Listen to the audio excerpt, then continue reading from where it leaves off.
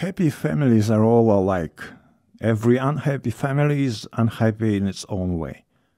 Everything was in confusion in the Oblonskys' house.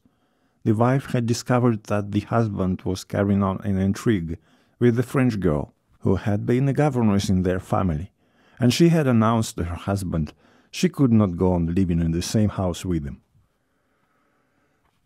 This position of affairs had now lasted three days, and not only the husband and wife themselves, but all the members of their family and household were painfully conscious of it. Every person in the house felt that there was no sense in their living together, and that the stray people brought together by chance in any inn had more in common with one another than they, members of the family and household of the Oblonsky.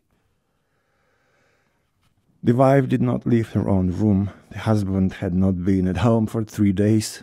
The children ran wild all over the house. The English governess quarreled with the housekeeper and wrote to a friend asking her to look out for a new situation. The man cook had walked off the day before just at dinner time. The kitchen maid and the coachman had given warning. Three days after the quarrel, Prince Stepan Arkadievich Oblonsky, Stiva as he was called in the fashionable world, woke up at his usual hour, that is, at eight o'clock in the morning, not in his wife's bedroom but on the leather covered sofa in his study. He turned over his stout, well cared for person on the springy sofa, as though he would sink into long sleep again. He vigorously embraced the pillow on the other side and buried his face in it, but all at once he jumped up, sat up on the sofa, and opened his eyes. Yes, yes, how was it now? he thought, going over his dream. Now, how was it? To be sure, Alabin was given a dinner at Darmstadt. No, not Darmstadt, but something American. But yes, Darmstadt was in America. And yes, Alabin was given a dinner on glass tables and the table thin Il mio tesoro. Not Il mio tesoro, though, but something better, and there were some sort of little decanters on the table, and there were women too, he remembered.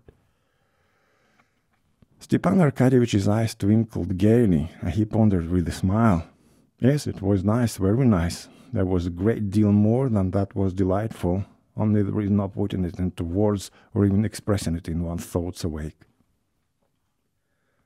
And noticing a gleam of light peeping in beside one of the serge curtains, he cheerfully dropped his feet over the edge of the sofa and felt about with them for his slippers, present on his last birthday, worked for him by his wife on gold-colored Morocco.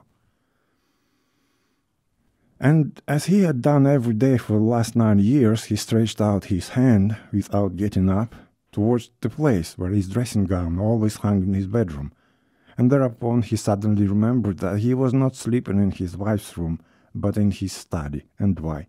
The smile vanished from his face, and he knitted his brows. Oh, he muttered, recalling everything that had happened, and again every detail of his quarrel with his wife was present to his imagination, all the hopelessness of his position, and worst of all, his own fault. Yes, she won't forgive me, and she can't forgive me. And the most awful thing about it is that it's all my fault. All my fault, though I'm not to blame. That's the point of the whole situation, he reflected. Oh, oh, oh, he kept repeating in despair, as he remembered the acutely painful sensations caused him by this quarrel.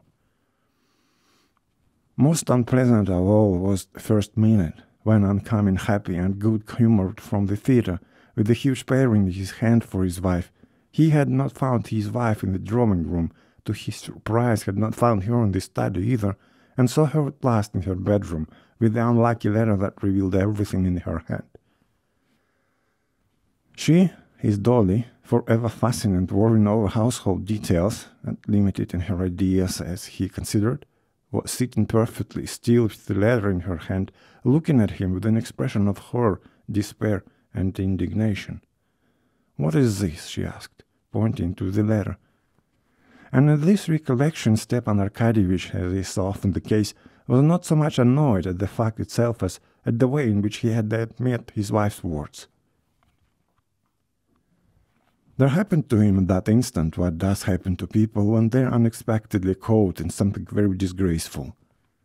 he did not succeed in adapting his face to the position in which he was placed towards his wife by the discovery of his fault.